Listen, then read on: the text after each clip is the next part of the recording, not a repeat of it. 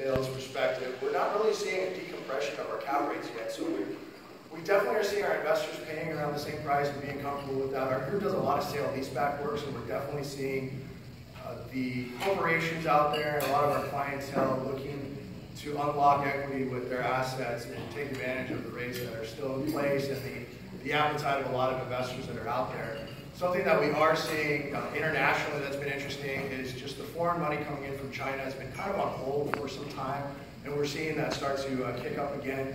And Japanese money as well has been very interested in logistics, so we're hearing a lot about that. And I know that a lot of our groups that work in the industrial component of the business, which is obviously affecting us, it's also augmenting what we're doing by we talked about this a little bit, but we can touch on that briefly. But just that last mile of delivery from Amazon to these centers and some creative uh, uses that are being put in there in order to get the product into the, the client's hands, into the customer's hands. So uh, those are some of the things we're seeing right now. I think that going forward in 2018, we're going to still see a lot of appetite for investments. I think we're going to still see a lot of sales and transactions happen.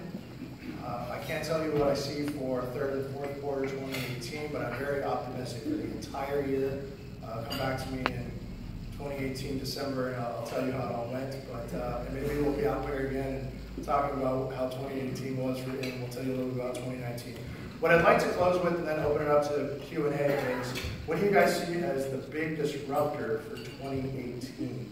Is it tech? Is it the, uh, the new Amazon? Is it some really cool uh, Froyo spot? I'm kind of stuck in Froyo. I don't know. I guess I haven't eaten yet, so I believe, honestly, it's, it's CoStar and LoopNet and no competition and not being able to get mom and pops who are traditionally used to using LoopNet to look for spaces, they're now being held back unless they subscribe. Uh, I don't believe that, I think we need competition, and I'm also confused by the model of CoStar. And I think uh, there isn't a brokerage house sitting out here that isn't confused by it. What we do and what we, you know, our transactions are volume. And what they want from each and every one of our brokers is, is just too much. It, we couldn't afford to be uh, CoStar customers. By the way, as brokers, doing retail transactions, we don't particularly need CoStar. We don't need the analytics. But LoopNet, we need LoopNet.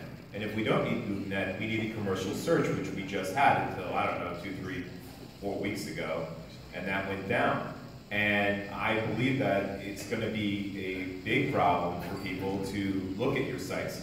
So when you're getting, you know, when you're looking for sites uh, out there and you've got three or four, you know, Mexican restaurants, you're no longer able to look at everything that's out there in the market. You're being told you have to subscribe. And the truth is, you're being told that you have to pay as a broker to put your listings up there. I mean, that's the content. That's your business. We're giving you your business. We're giving you the data. Every month you ask us for what we did in transactions, and every month I give it to you. And what do I get in return? Nothing. So, you know, perhaps I'm the bad guy saying it, but hopefully you all will too. I've had enough You know what the right sides? Uh, yeah, follow that, man. As a broker, I'll tell you right side. Yeah. Now you have landlords who don't want to spend twelve, thirteen, fifteen thousand dollars a year listing on a property online, so there'll be more opportunities for us. That's one of the things I. But it is it's, it's unfair because a lot of mom and pops now don't have that resource to find properties. Um, you know, I'm talking to a couple tenants that are moving from Washington State down to Southern California, and their only means of looking at properties is really LoopNet. And uh, when you have to start paying a tremendous amount of money just to open a little nail salon for, you know, or, or move your whole business, family business, it's, uh, you know, there's something wrong with that model. It needs to change. Great. Appreciate that. Trevor, you want to sure. Um, jump in? I say, really, you know, if we continue in this environment of the cap rate compression we've seen, I feel like it's going, it, it won't bode well for investment moving forward. I think the, the difficult